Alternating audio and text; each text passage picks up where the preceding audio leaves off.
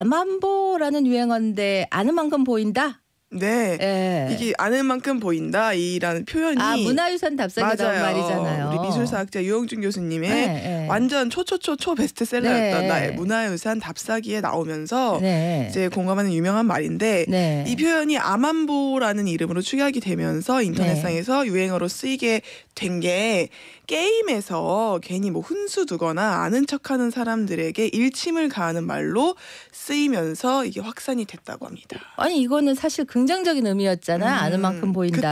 그쵸. 근데 이거는 요즘 아만보다 살짝 비꼬는 의미가 있네요. 잘 모르면서 이렇게 그쵸, 예. 아는 척하는 사람에게 맞아요. 일침을 가할 때 어, 예를 한번 들어봐 주세요. 예를 들어서요. 네. 어, 나 요새 뭐 그룹에 누구 어, 왜 이렇게 사람들이 좋아하는지 모르겠던데.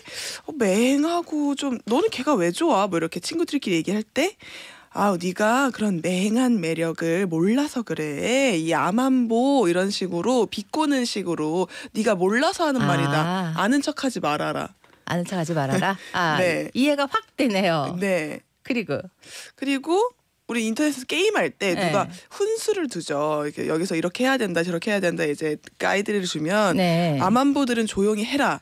이런 식으로 잘 모르면서 왜 훈수를 두냐라는 음. 의미로 네가 뭘 알겠니 이런 뜻으로 쓰인다는 거죠. 아 인터넷에서 쓰이는 깨말 못하고 비슷하네요. 게임 잘 알지 못하는 깨말 그쵸 못. 그쵸. 그쵸. 예. 네. 그래서 게임 쓸 때 게임 알못 이런 비슷한 느낌으로 쓰이는 건데 네. 뭐 덕질하는 친구들은 자기 스타에게 뭐라 할때 아만보면 가만히 있어 이런 식으로 쓰기도 하고 네네. 이게 아만다 사이프리드의 아- 이름 앞 글자랑 좀 비슷하다고 해서 네. 아만보 사이프리드라고 드립을 날리기도 한다고 합니다. 네, 네. 어떤 사람을 아만보라고 칭하면 놀리던 사람이 알고 보니까 더 아만보였을 때 어. 그럴 때는 역만보라고 부르기도 한다고 역만보. 하네요. 예. 이게 참 아. 계속 입에 잘 안 붙죠.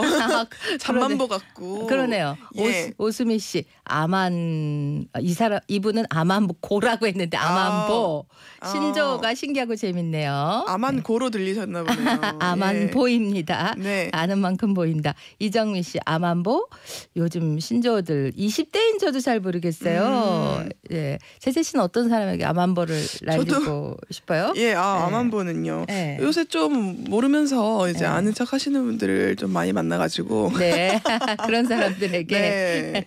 좀 이렇게 물론 뭐 관심의 표현이실 수 있겠지만 네. 정말 좀 어, 모르는데 아는 네. 척 하시는 분들 꽤나 있더라고요. 어허. 예. 이화순 씨 제재님 아는 것도 많고 흥도 많고 아이고. 예능감도 좋고 좋아 좋아 좋아. 아우 저도 화수님 좋았어요. 오늘 들